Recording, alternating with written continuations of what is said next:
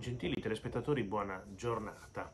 Abbiamo sempre parlato del Partito Democratico come di una scatola vuota, un'area politica, un partito, chiamatelo come volete, perché il PD alla fine non è nient'altro che una fusione di alcuni partiti. Ecco, il PD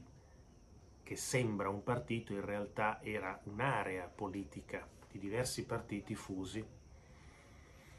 poi da quell'area politica ci sono state le scissioni, Calenda, Renzi, di nuovo i comunisti italiani, quindi quel partito che era la somma di tanti partiti piano piano si è,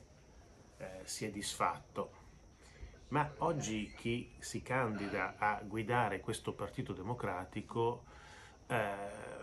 non è tanto differente da chi l'ha guidato prima. Ecco, per guidare una scatola vuota ci vuole una persona vuota, senza idee o presumibilmente senza idee.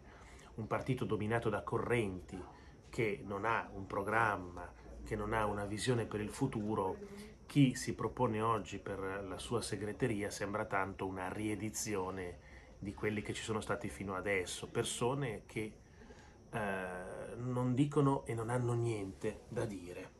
e un primo indizio su questo è dato da, eh, da questa Schlein che si candida alla guida del Partito Democratico e che realmente, e che realmente eh, va da, da Fazio